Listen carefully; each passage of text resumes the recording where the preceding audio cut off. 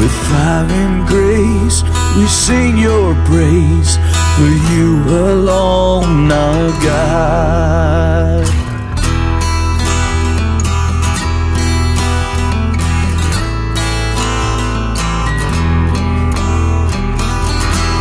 I lay my life down on the altar, the present, the future, the past. God, you laid all the foundations, give me a faith that lasts. Consume all my heart in your presence, eternally burning in love.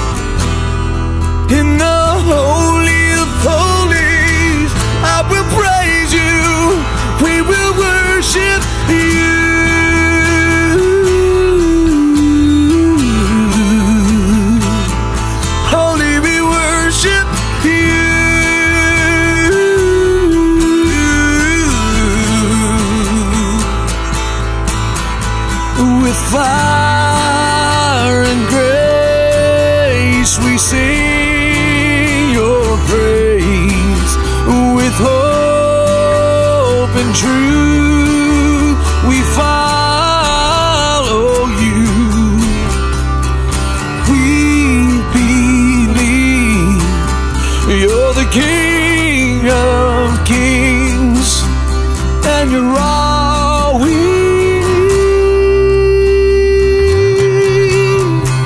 With fire and grace, we sing your praise, for you alone are God. You alone are, you alone were, you alone will be God. You alone are, you alone were, you alone will be God. You alone, you alone, you alone will be God. Great I am.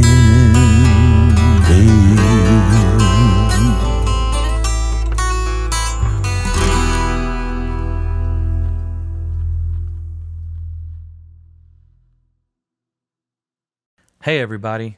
Dalton Travis Gray here with Stones of Zion Ministries. Uh, like, share, and subscribe if you enjoy this channel, if you appreciate the, the bold and courageous and no holes barred approach that is taken here.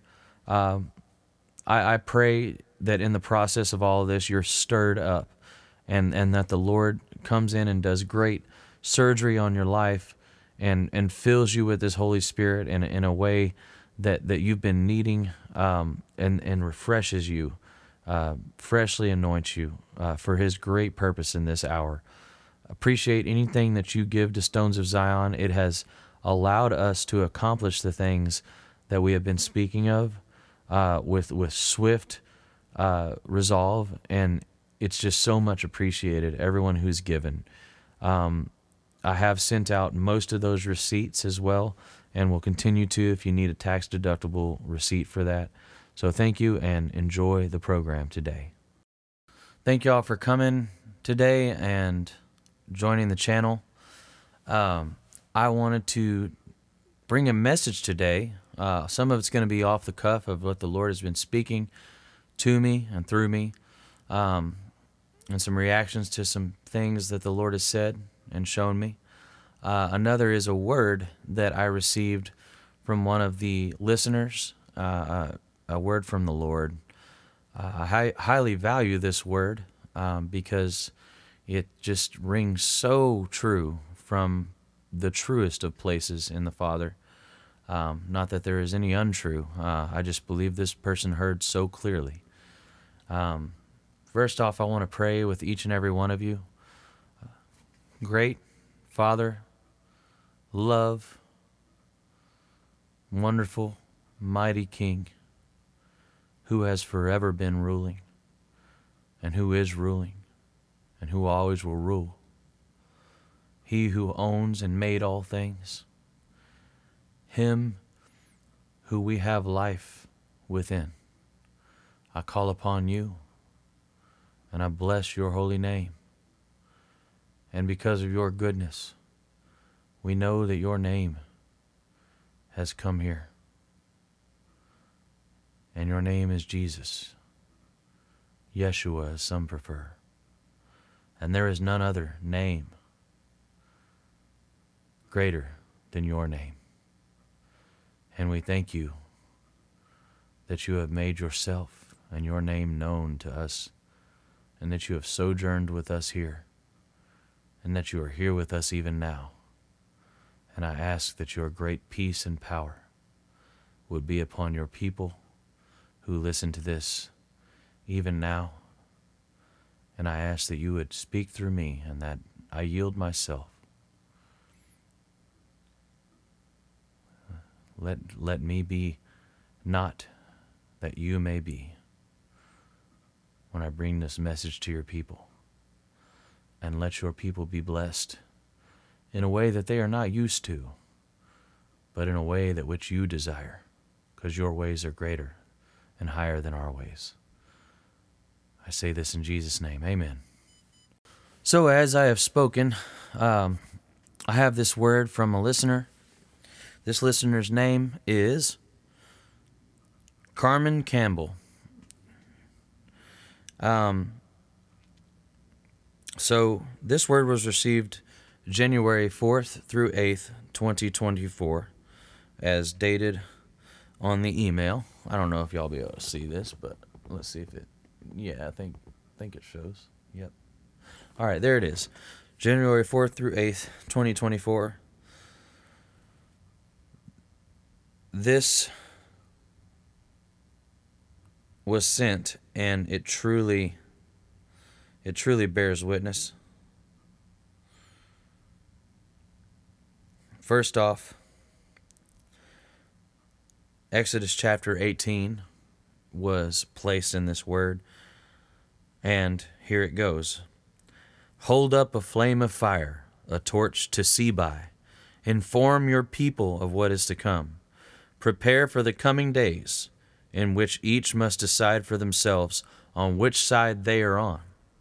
Prepare, make an altar to the Lord, bring burnt offerings in my name to the Lord of hosts you will see me manifest holy fire at that altar, and many will be drawn to the flames. You are not to set up an altar to a God of war, but to a God of peace in the midst of war. Flames of tongues of fire will fill the temple. Separate yourselves. Make a holy path, my people,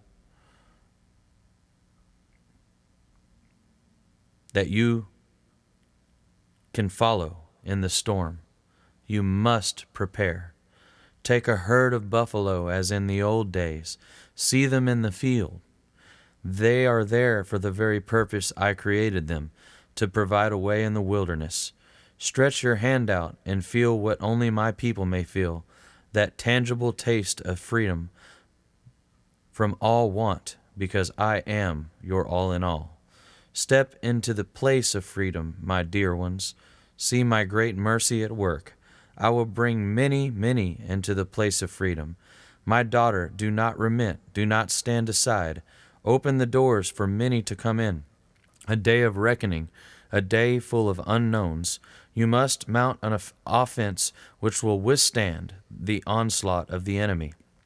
That offense must consist of many voices calling out for peace. It must understand what is at stake. You must use the levers of power for your own advantage. That advantage will consist of rightfully gauging risks. The risks you take must be accompanied by my power to achieve your goal. You must not attempt to use power on your own. I am the source of all power, but you must decide if that power will harm or hurt my cause, which is the salvation of souls.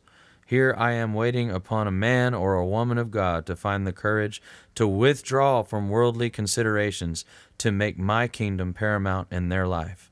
Lord, is an actual war coming soon? This person's asking. It is coming with fatal consequences, says the Lord. It will come, and you must recognize your role in days to come. Preparing is a must. The course of history is determined by those who foresaw and prepared. Remember that, guys.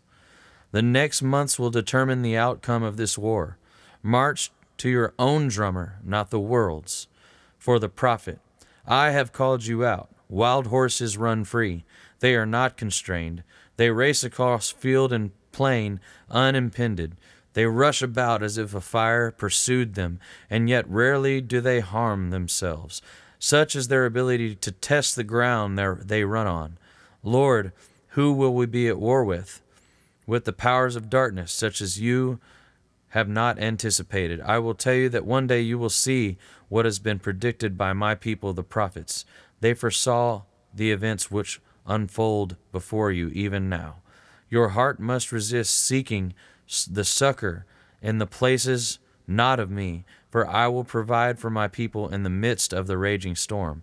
Many will cancel their plans and follow the ways of the righteous. You must lead them in that path, for their hearts will faint until they see my face. Oh, come to my storehouse, for it is full of goodness. You will be filled and never want again. Here I am waiting. Here I am calling. Can you hear me? Can you see my heart breaking for this world, which turns from me and refuses my lifetime of love? Lord, how do we prepare? Prepare by first acknowledging that you need me for everything. Then ask for my wisdom to guide you. Seek me on your knees as when you first found me. I will answer the humble heart. Make war by strategic means, which I will prepare you to operate in. Those means are spiritual, not just carnal. All spiritual men will be in my army. The carnal will fall by the wayside. What a great word. Um, the, the verse comes to mind there uh, Cursed is man who maketh flesh his arm, thinketh the strength of his own deeds could sustain him. Now, this message uh, is very profound. It, it's literally a call to lay down your worldly plans because of the hour we're in and make his kingdom plans number one. And when I say kingdom, that does not mean the American church building. A kingdom is a domain of the king. This earth belongs to our king and we should be claiming territory and redeeming the land for him right now. Here at Stones of Zion, that's exactly what we're doing. I want to let y'all know that in the past few weeks, all of the things I've been speaking of in the past few months have miraculously been provided for and even multiplied even more. Um, all of the people involved thus far are faithfully making decisions to uh, turn what they have into uh, the equity needed to move forward in this ministry, uh, and it's and it's becoming more than uh, than than I expected, uh, which is what was prophesied to me. So I just want to let y'all know God is standing behind and beside, and He's gone before us here at Stones of Zion Ministries, and I believe that if you're called to be a part of this, it will be amazing, uh, and and He will confirm that with you. Um, I would love to talk to you um, concerning, in general, the call of this word that Carmen gave. I, I believe that we're going to have to flee to the wilderness, just as the book of Revelation says that the the bride's going to be pursued by the dragon and have to run to the wilderness, and it is it is in those places which we are most likely to survive and weather this storm. Our desire to weather this storm, though, needs to be for the saving of souls, which is the kingdom of God. It's the eternal kingdom. So um, it's not out of fear that we get out of the way of harm. It's for the desire to preserve life. And that is the exact reason why Noah built the ark he, he wasn't just a selfish man. Now he had healthy fear of what's coming. That that's healthy, guys. So don't don't think that a little bit of instinctual preservation of life level fear is a bad thing. It's a good thing. It will it will cause you to to take action. Um, so that's a good healthy fear um, in the sense of wanting to preserve what is good and not wanting to lose it. He did that to preserve the people of the earth.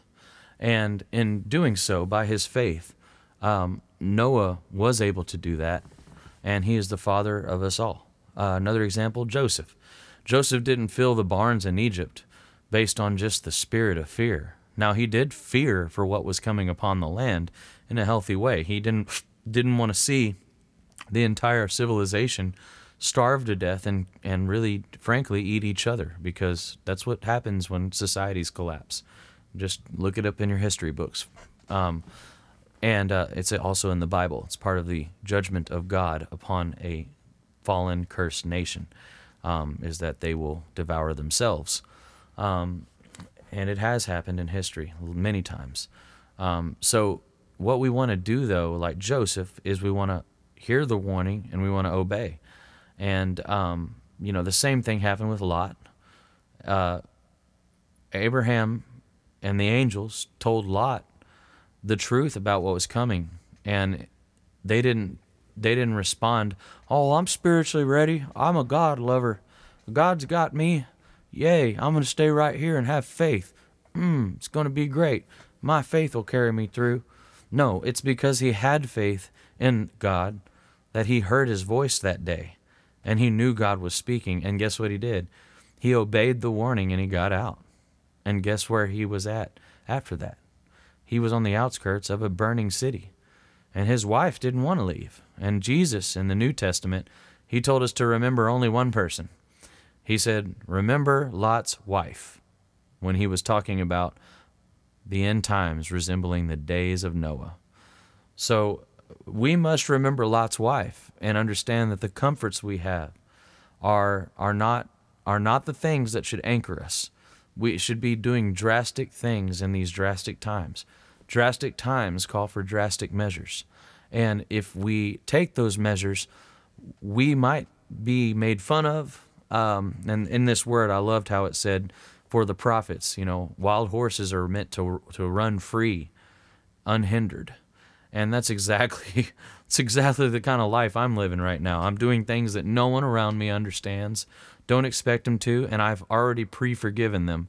I've determined to continue to forgive them for their judgment and for their suspicion and for uh, you know their ignorance. Uh, I forgive them for that too. You know, it's it's it's a sad thing to be ignorant in a time like this, um, but we are to be salvational to our brothers and sisters if we obey the Lord now and that is the point of this word that Carmen gave. You know, uh, it was it was a beautiful word. There's a there's a couple lines in there. Maybe I can scroll through and find them uh, quickly.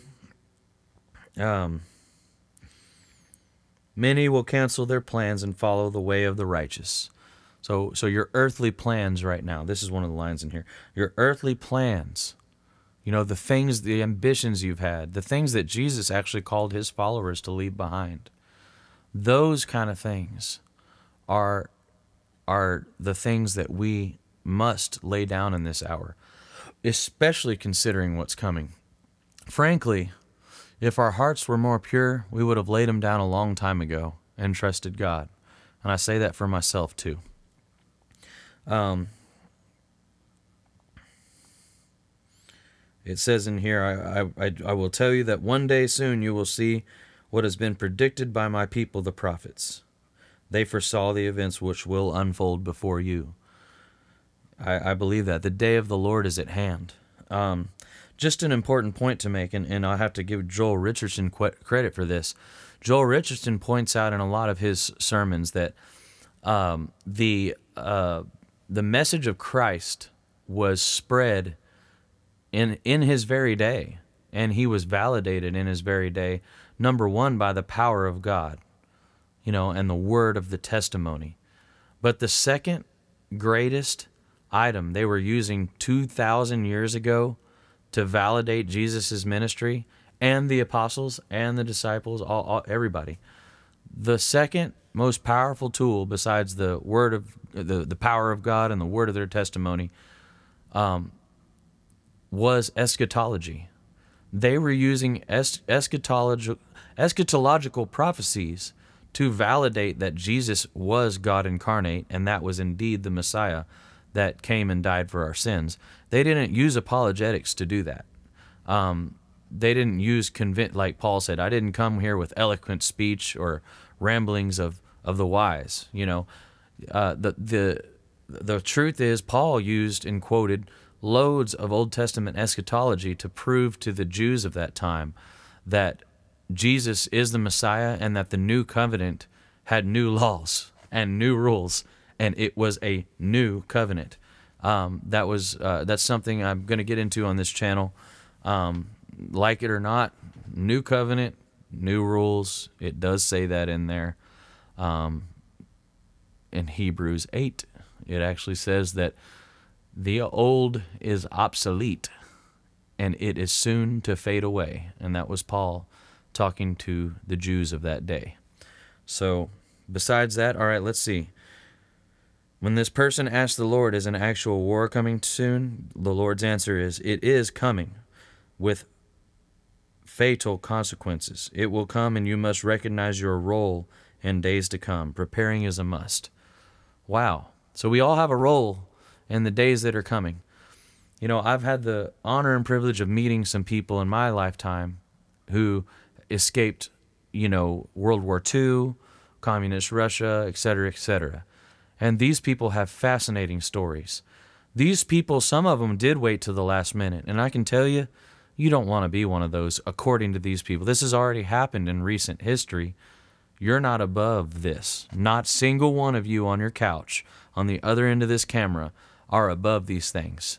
In fact, we're more lazy, we're more foolish, we're more sinful, we are way more reprobate in this nation now than they even were then when these horrible things came upon them. And a lot of people escaped these things, and the ways they had to escape were very challenging. So we all have roles in days to come. Um, let's see. There's some. There's a couple other things.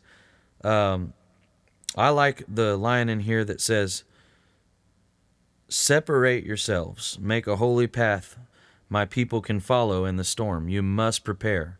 Take a herd of buffalo as in the old days. See them in the field. They are there for the purpose I created them, to provide." a way in the wilderness. Stretch out your stretch your hand out and feel what only my people may feel, that tangible taste of freedom from all want, because I am your all in all.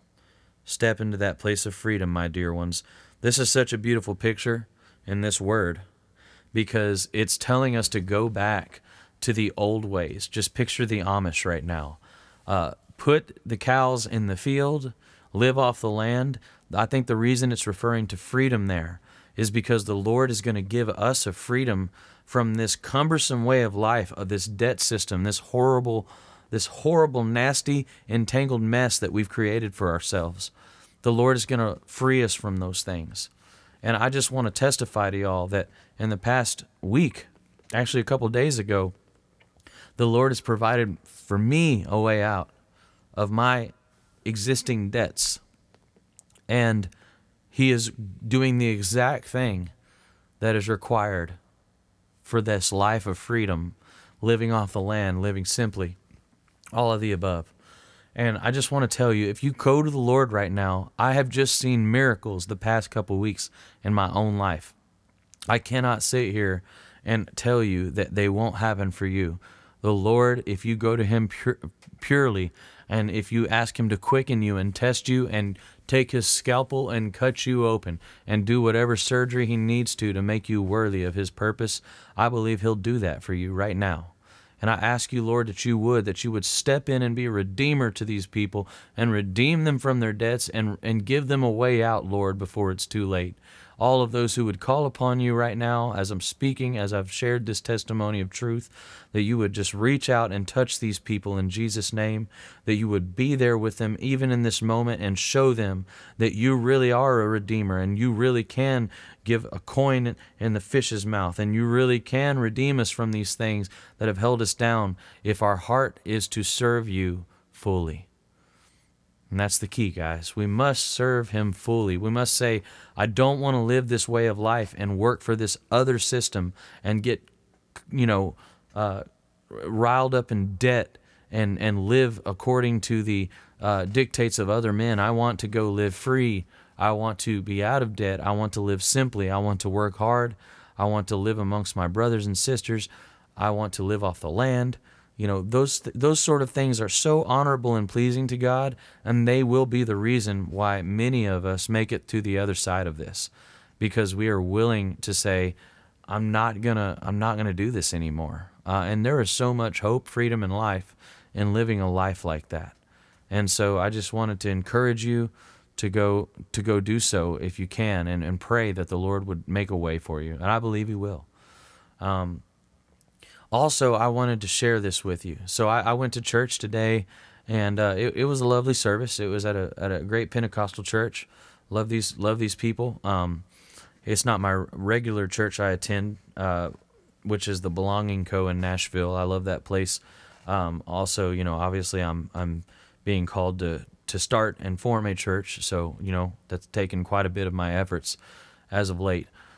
Um, but uh, I'm definitely not a rogue agent in the body of Christ. I I'm very aware of what's going on in the body of Christ, and I I look up to and and submit to uh, leaders, uh, and I'm I'm learning from them uh, all the time, and and I know what I'm called to, and I know which office that the Lord permits me to sit in at times, um, and I know which office He's calling me to, and, and it's okay to know all that stuff, but I am humbly submitted to the body of Christ, and I'm learning. Um, always, always. Uh, the Lord is eternal, so I expect to grow in Him eternally, and I look forward to this lovely school of eternal life that we are, are ever going to be in as children of the Most High God. Oh man, that just came out. Woo! I like that one. Um, so I'm in this church today, sitting in the back. Everybody's starting to get emotional into the worship. I'm listening to the band. They were doing great um, I began hearing the Holy Spirit and the exact words. This has happened to me. Let me just let you know. This has been happening to me since I got first filled with the Holy Spirit. The Lord has spoken to me in churches, given me words for the churches, uh, had me deliver them at times. Uh, had you know, it's gotten me kicked out at times, and it's gotten me, you know, highly regarded at other times. It depends on the heart of who I'm delivering it to. But I can tell you that um, he spoke to me specifically that the music and the cries of the people were so loud and distracting that he was nowhere to be heard, and they could not hear what he was saying. Let me repeat that so it can sink in. Yahweh, the Most High God of Abraham, Isaac, and Jacob, told me in a church building, of which he said this before, but I'm giving you an example, a testimony from today, that the music and the droning of the people was so loud that they could not hear him, and they were not listening to him. I then was, you know, I'm I'm a little thicker skinned there now. I used to break out crying when I heard those words from him. I'm a little thicker skinned, and I was like, okay, well, nothing new, Lord. This is in your word. You know, they, Isaiah and Jeremiah and all those guys that were, they made fun of that. They said they're nothing but clanging cymbals, clouds without water. You know, they they talked about, you know, how noisy and foolish the people were when destruction was upon them. So I asked the Lord, you know, why'd you show me this?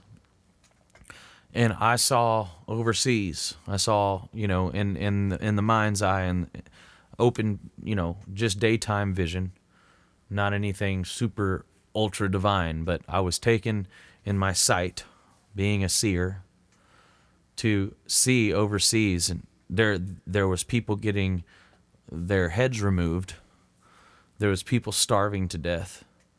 There was people in huts praising God, muddy people who were muddy, people who were lacking, but they were praising God and he was hearing them and they didn't have any instruments, but they were just jumping up and down. He was listening to them and he was considering all of these people being persecuted. And over here, we were just turning up the band and getting emotional. And frankly, I'm not trying to be mean or rude, but the emotion that these people were feeling today, they interpreted it as the Holy Spirit. And it was simply their emotions. Now, the Holy Spirit did show up later during the service. They had a guest speaker that really, really brought brought some faith to the room, and, and the Holy Spirit did move. But these people mistook the Holy Spirit most of this service for their emotions. And I, I witnessed this from the back of the room.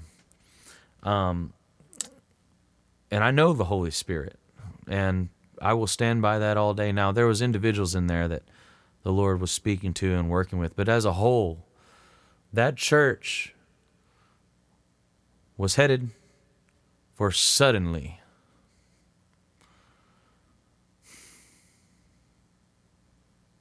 This is the word the Lord has been giving me this past week.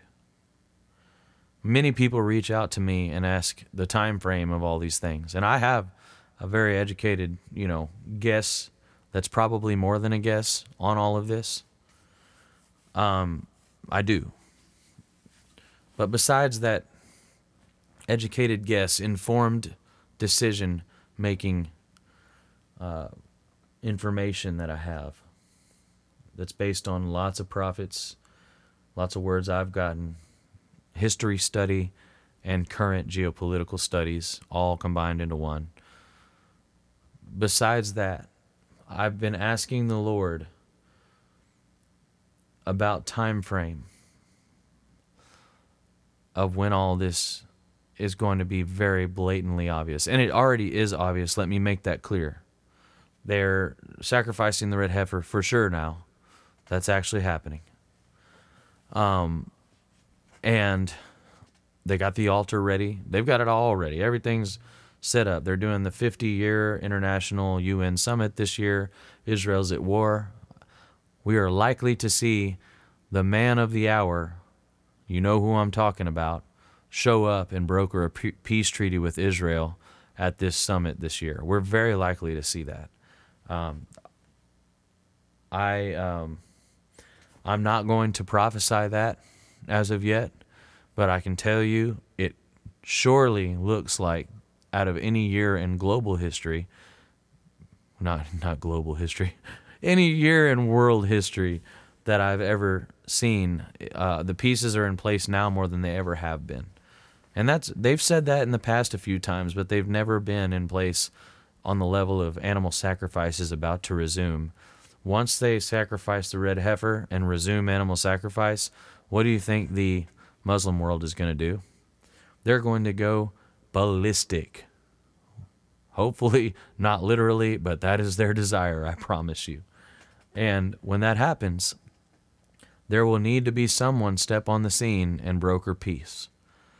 And you know who that will be. But based on all of this, I, I've been asking the Lord, when's the timing? And this is what He said He said, suddenly.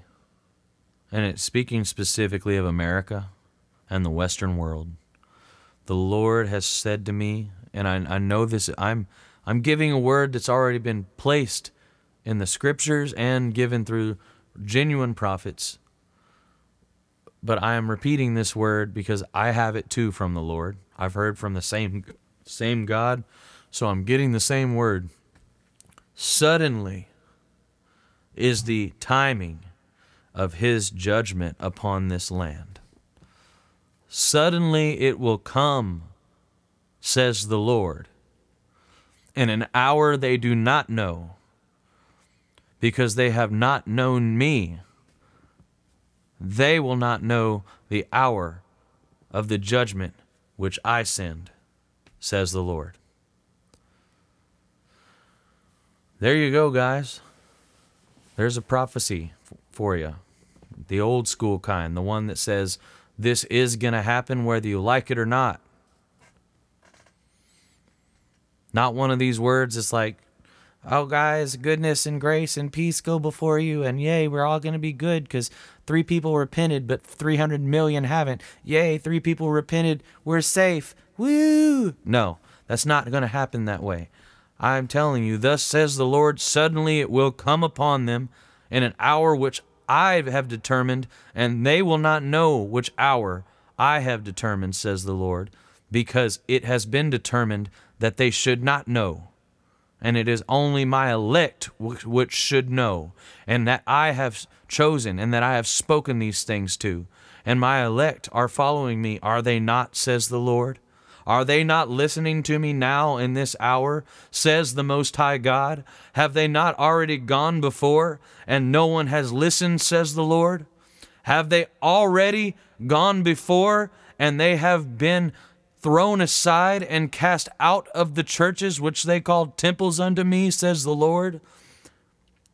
Have their shepherds listened? No, says the Lord. No, they have not listened. Their shepherds have kept the people in blissful ignorance.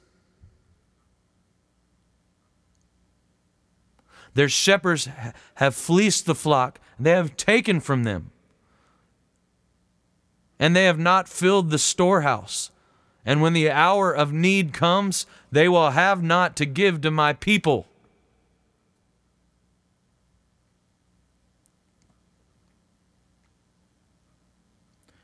And for that I will sorely judge them. When the hour of their need comes, I will not hear them. And I have spoken these things to my prophets of old, and I speak these things to you even now, says the Lord. I will not hear them which have not heard me. I will not hear them which have not heard my messengers and prophets. I will cast them aside which have cast aside the warnings which I have given, and they will be heard from or seen no more, says the Lord. Be wise who you choose to align and listen to. Give not your substance and your tithes to those who have no intention of caring for you in the hours which are ahead. Test their hearts and test their wisdom of these times and if they have none, then give them nothing. Turn away from them, for, the, for where will they be in the hour which you have need? Where will they be in the day which you are in pain and you are in tears? I say they will be running for the hills because these men have conspired and they already have places in the hills that you know not of because they do not want to cause you to fear and to scatter from their midst, because it is you who have bought these places of refuge for these men. And will they receive you to these places? No, they will not. You will be alone and destitute in an hour of need. And they will thank me for the blessings which you gave them, says the Lord.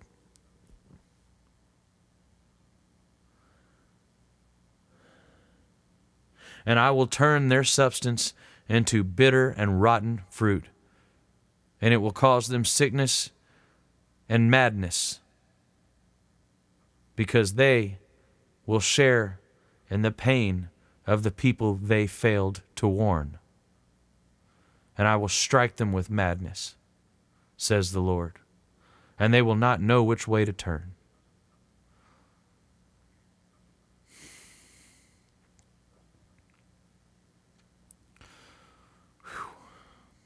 That, that all just came upon me.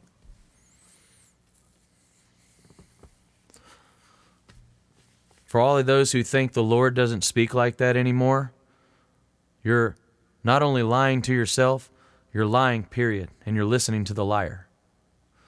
The Lord's voice is the same as it's always been, and He is the same God. And He loves us enough to warn us. And if you think that's not loving, then enjoy your Cheerios because they're about to run out. Eat extra Cheerios and ice cream for me because I'm going to leave them behind so I can go listen to the Lord in this hour with the good people that the Lord's put by my side. And I'm going to do my darndest to take care of them. So I hope this word was enough to stir you this day. When I was in this church, I also was given a word for the pastor's wife. And I kindly and gracefully went up to her, and the word I gave her was The Lord has given you much sight and wisdom pertaining to what lies ahead in this world and in this country. And He has ordained moments for you to warn your congregation.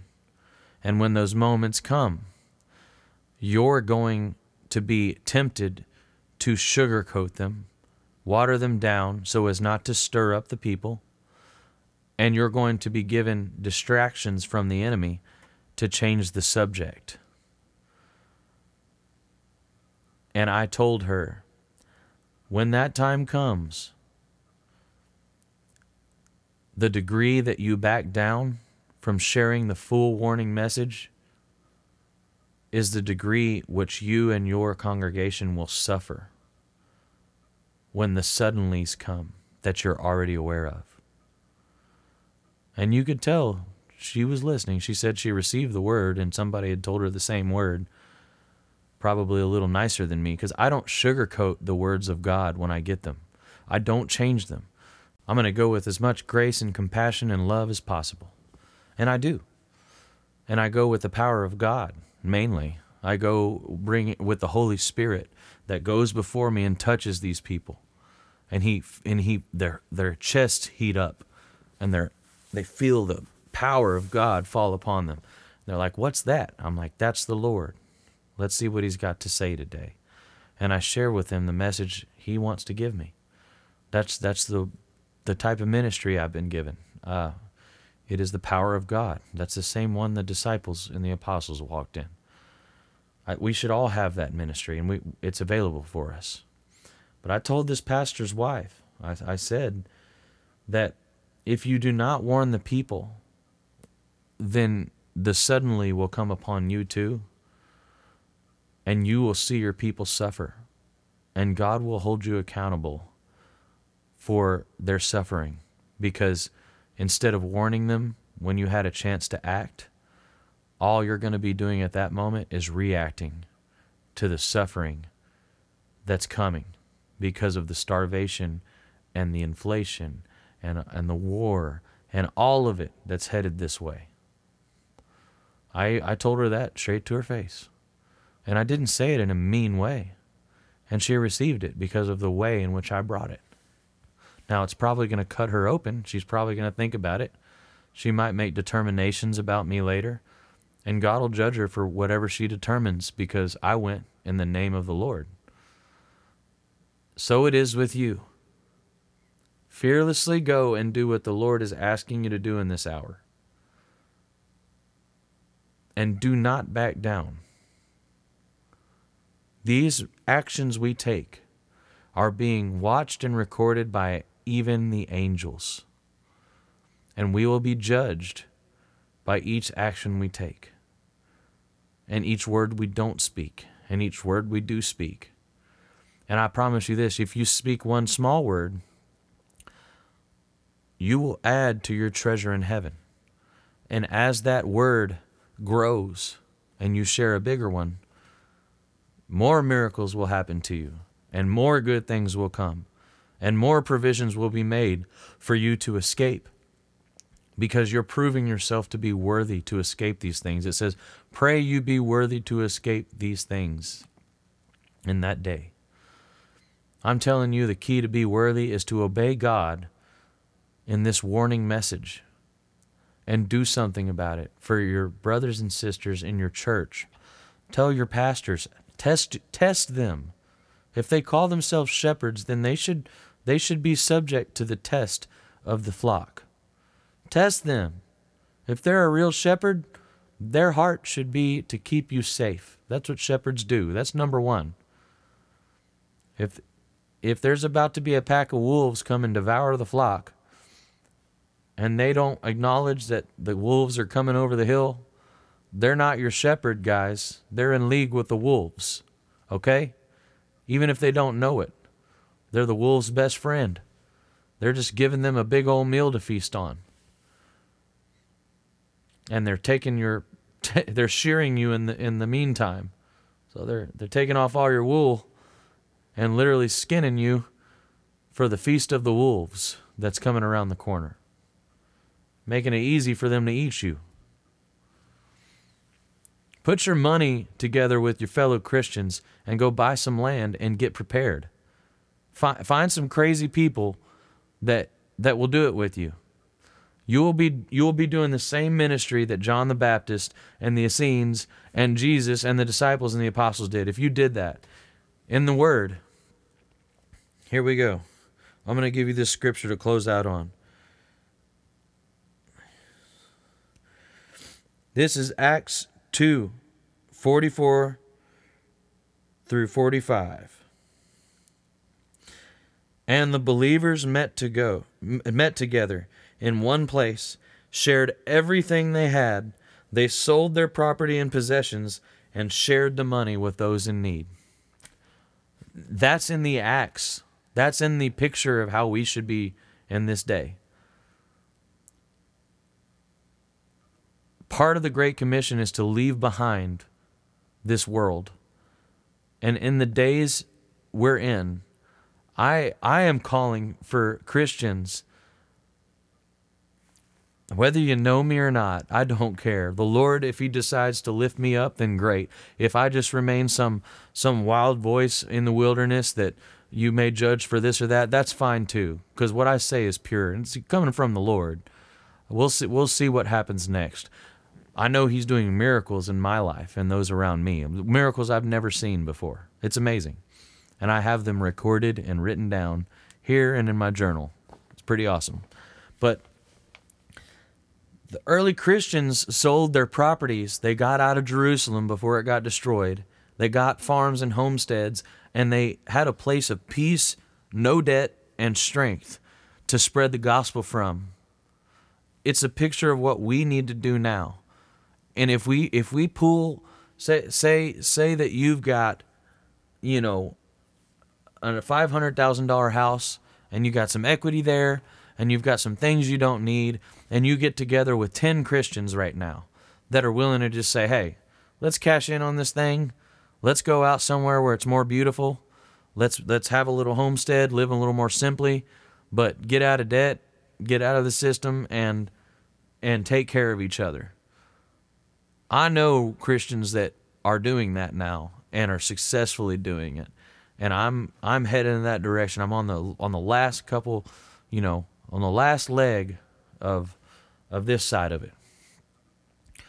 You do that and you're looking at tons of equity, tons of provision that God put right in your lap so you could get out before it's too late. That's literally what our move is at Stones of Zion right now, and it's happening, it's real. So I'm encouraging you, if you don't want to call us, that's fine. But I am encouraging you guys to do it. And I'm encouraging you to think on these things. And if you're if you're if you're interested, y'all y'all give us a call cuz we're we're really we are we are headed in that direction in a huge way is actually happening and we are checking off the skilled people list of people that the Lord is sending that are just crucial. It's happening great, folks. So I will say and encourage you to think on these things, to do these things as the Lord calls you. And thank you for your giving to Stones of Zion Ministries. Um, thank you for everything you've done. Um, continue to pray for us and, you know, uh, be careful who you're listening to. Critical times we're going into. Drastic times call for drastic measures. You can choose which person you are in this story that will play out as God judges this land. That's the beautiful thing. You can choose. May God be with you, and may the Holy Spirit enrich you greatly and cause you to be the wonderful being that He has made you to be. In Jesus' name. You'll have a great day.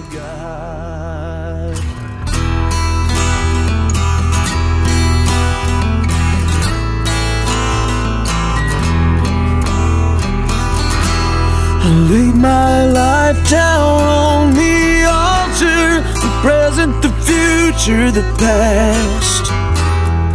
God, you laid all the foundations, give me a faith that lasts. Consume all my heart in your presence, eternally burning.